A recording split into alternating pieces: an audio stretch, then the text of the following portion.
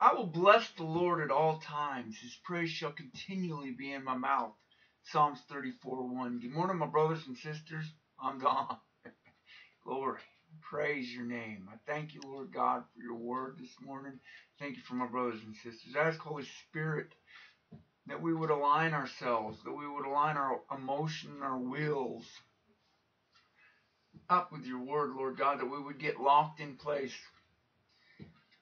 as a space module locks into the mother ship, that we would lock into that, Lord God, and that we would receive that life from you in Jesus' name. Amen. Hey, I just declare over your life wholeness, health, peace, prosperity in every area of your life. Glory. This morning I want to talk about our wills. Our wills. We have free will. We have the ability to agree or disagree on something, and I'm sure that most people agree or disagree on something. You may di- agree or disagree with what I do in the mornings. Maybe you agree, di- agree with it all the time. Maybe you disagree with it all the time. Maybe it exposes the truth to you and it makes you uncomfortable. Well, that's all right. That's okay. We can't allow our freedoms to be stopped by somebody else, and we have to align our will to the Lord our God. He he isn't asking for people that, that do their own thing. He's not asking for somebody to go out and do their own thing and in their own strength bring glory to him. He's not asking for that. He's asking you to bend your will to his will. To to dock your will to his will. To partner up with him. Jesus said, Not my will, Lord, but your will be done. Um, we all have a cup to drink from time to time. And how we react and walk through those things, it shows where our will is. If we get mad, if we get defensive, if we we we make excuses, we are wearing a big leaf of shame in those times. We are in pride, and we need to drop that pride. We need to begin to, to align our will to the Lord's will. And uh, definition of will this morning is used to express desire, choice, willingness, consent, or in a negative constructions, refusal. In negative constructions, refusal. We'll either align our will with God or we won't. Um, I mean, I can't make it any more cut and dry than that. We either will or we won't. What What are you gonna do? Are you going through some rough times and you've decided that God has abandoned you? Well, that's not true because His Word says, "I will never leave you or forsake you." And and in our rough times, we really need to praise the Lord because that's the only way we're going to get through those rough times without losing our grip on where our reality is and coming out worse on the other end and having to start all over again. Um, and when we're not doing that, when we're not keeping our eyes focused, the enemy has a chance to sneak in and lie to us. Glory, glory. Uh, Psalms 34 1, it says, I will bless the Lord at all times. Okay, it didn't say I'll bless the Lord in my good times. And in my bad times, I'll just walk away, throw up my arms, and, and make all kinds of excuses why I can't join my will to the Lord's will. Why I can't trust in Him. Why? We'll have all these excuses. I know I've been there. And I really believe that the Lord wants to create a, an opportunity for us to break through. I can't escape that word breakthrough. I absolutely cannot escape from that word. And and the more I try not to think about it, the more I think about it.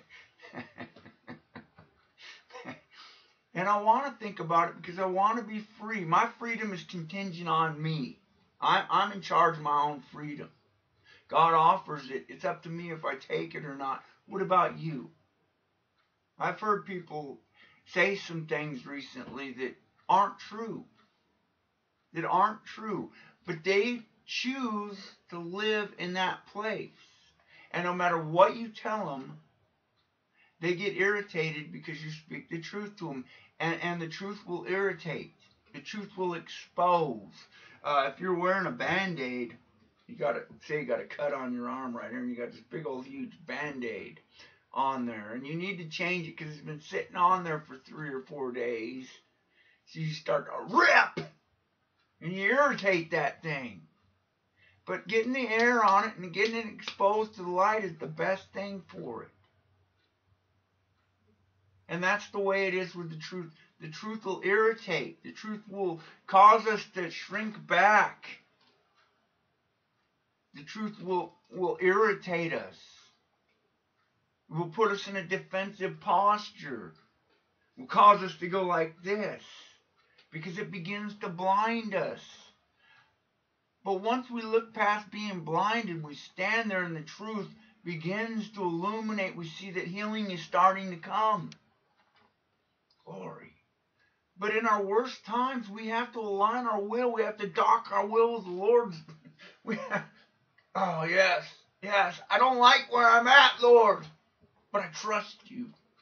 I praise you at all times. I bless your name. I've made up my mind. Several months ago, I made up my mind that I was going to praise the Lord and bless his name, regardless of what I felt. Even if it didn't feel good to do it, I was going to do it anyway because I I don't want my walk to be a walk of when I feel good. And when I don't feel good, I'll run out and do these other things. That's not the way it works. And we have to see that. We have to look down that path. Lord, just set your face like flint and look forward, not look to the right or the left. Look forward. Don't go back to your Egypt when the times get hard. Don't blame God when you choose to, to live in that place. Don't say, well, because I'm not coming out of this thing. I've been suffering this thing so long. God must have forsaken me. I blame him for this. Where were you, God, when I was going through this? Well, let me ask you a question. Where was the praise from your lips when you began to go through that? Where, where, were you building up your hope in this? Or were you every day expecting more of the same? And in, in, in regards to whatever we go through, it's our choice. We're the captain of our ship. The Holy Spirit is the admiral. Jesus is the admiral. The Father is the admiral. That's the admiralty. That's the dudes in charge. They give us our orders and we get to sail around. But we have to see that when we're when we're sometimes we feel like we're all alone. But can we praise God in those times of aloneness and abandonness? I uh, yesterday at the home meeting, I had a breakthrough. I absolutely had a breakthrough. I didn't own the meeting. I didn't own it. I didn't walk out of it thinking I didn't do what I was supposed to do. Or I or or or I might have offended somebody, or I might have did this, that, and the other thing. I did my job. The Lord gave me orders. I floated in there, did what I was supposed to. And now it's on him. It's on him. It's not on me. I don't have to carry that burden. And you know, it felt so freeing last night to, to know that I was able to just say, Thank you, Lord. And I was able to share with my partner there, my awesome brother, that, hey, we did our job. We did what we were supposed to. We planted our seeds. Now it's up to God. Now it's up to God. That is empowerment. That's that's being free. That's saying, I will bless the Lord at all times. That's breakthrough. I was scared going in. I was victorious going out. Glory. No matter what the enemy does, I'm going to overcome. Glory. That's what I've made up my mind to do. What are you making your mind up to do? Glory. And in Psalms 34, verses 3 through 7, it says, Oh, magnify the Lord with me. Let us exalt his name together. I sought the Lord, and he answered me, and delivered me from all my fears. Um, you know, what were all his fears? I sought the Lord in that time, and he delivered me from all my fears. Yesterday I went in fearing, fearing man. That was the whole thing, right? I was afraid what people were going to think about this message that I was given yesterday. I had to repent. We, we were having uh, communion last night, and I had to repent for that fear and not have the, having the fear of God. Being afraid. It's okay to have fear. It's okay to have negative things. But what's not okay is making those things greater than the God that you have living within you, greater than Jesus. And so, at any rate, I repented. And as soon as I began to speak, within a minute or so, maybe two minutes, there wasn't any fear there. It wasn't. I wasn't conscious of of of anything. A, time or two during this, I was wondering if anybody was getting offended by it because we've been going through so many struggles. But some people won't release their struggles. They they choose to hold on to those things and they and they choose to declare them. And when others step in to say, hey, you know, this is, you know, this is a godly advice here. This is what you need to do. They refuse that.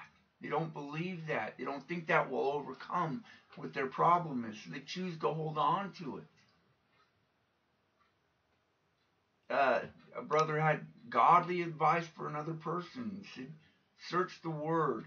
Look the word up for your problem and begin to study that out. Begin to speak those scriptures. Keep reading those same scriptures over and over again. If it's fear, look at the scriptures on fear. Delivered me from all my fears. And then we'll continue here. Those who look to him are radiant, and their faces shall never be ashamed. The poor man cried, and the Lord heard him and saved him out of all his troubles. The angel of the Lord encamps around those who fear him and delivers them. Um, you know what? What we're not seeing in that scripture, if we, but if we read a little deeper, he had fears. He he he was he was in struggle and strife. Yet through that he still sought the Lord, and he believed him for his deliverance. And if we begin to search and seek and believe, we're going to see that the angel of the Lord encamps around us, that he does deliver us from our fears, that there is breakthrough.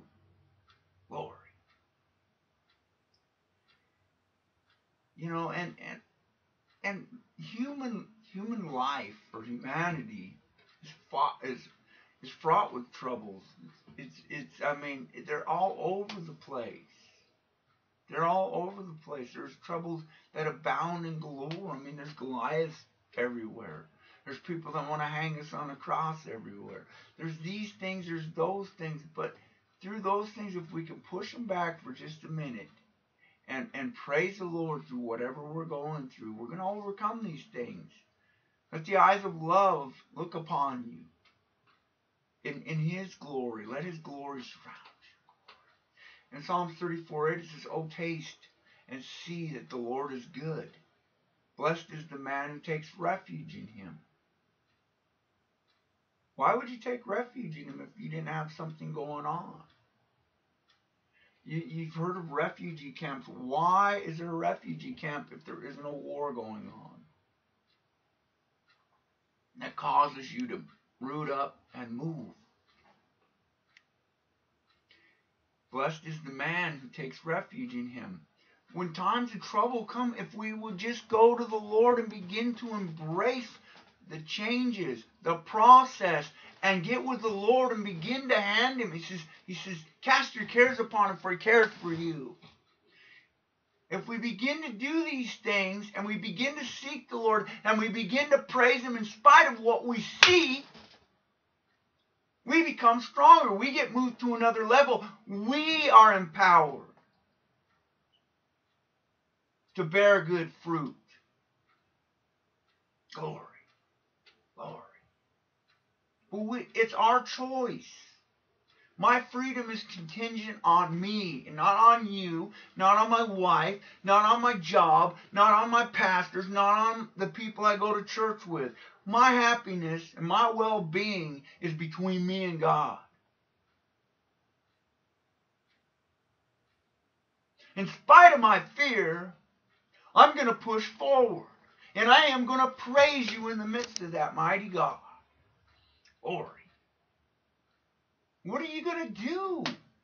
When you have to take refuge, when the storms of life get too bad, are you going to throw it all down and just walk away and go back to your Egypt or turn around and look at Sodom and Gomorrah and say, and become, and just become a pillar of salt? We absolutely have to retain our saltiness. We're not going to be good for anything. If we always allow the storms to keep us down and never try to rise above them, that's where our walk's going to be ineffective.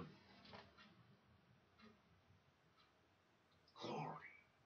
And I want you to see that in the midst of what is going on in a man's life, he stands firm and says, Not my will, but your will.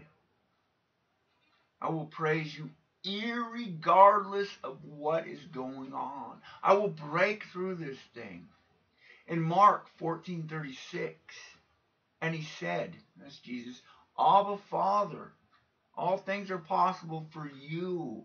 Remove this cup from me. Yet not what I will, but your will, but what you will. Jesus, his humanity, did not want to go to the cross. He didn't want to suffer what he was about to suffer. He didn't want to suffer a more than comprehensive abuse. I mean, you know, we, we talk about people who get abused nowadays. This man got abused. He was beaten and pounded and pulverized into a state of not being recognizable. His blood was shed for us that we would overcome these things. He showed us what one man rightly connected to God could do. That in the midst of his trials, he could still say, Not my will, but your will be done. He died to himself that we might live. We have to see this. We have to, especially in times like these. You know, I look around and I think, you know, they're moving into some pretty dark times. And I'm not trying to be uh, end timeish here on this because every generation has got its dark times, got its light times and its dark times. But there's some things I'm seeing that God's going to be changing in the body because we need that for the times to come. We need judges in the body, those who rightly discern and begin to prophetically speak out. You might hear more of that in the near future too.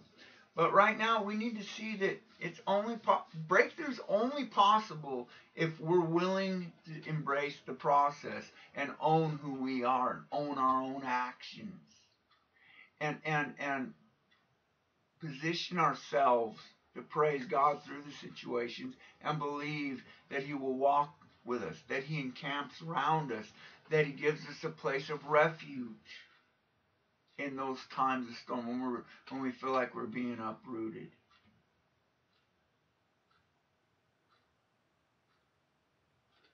I just want to say thank you for coming and sitting with me this morning. You're awesome, as usual. And I just want to bless you in the name of Jesus. So thank you, Father, for your mercy and your grace upon this word this morning.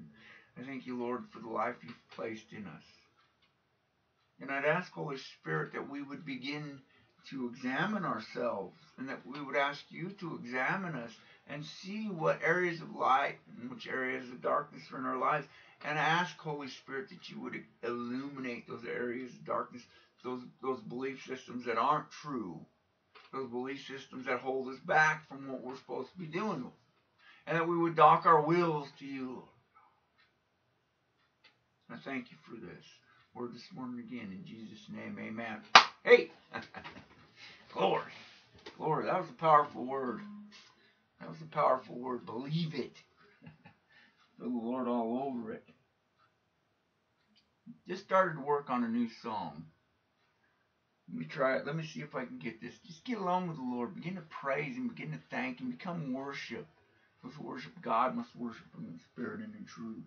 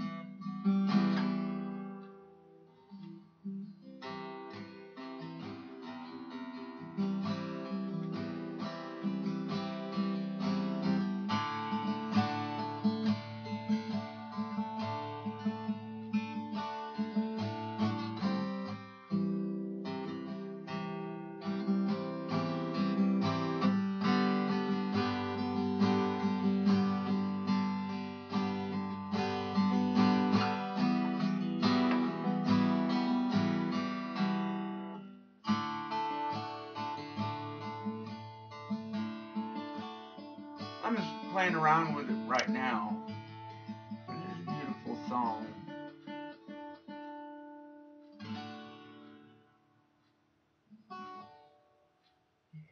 Hey, we'll see you. Bye.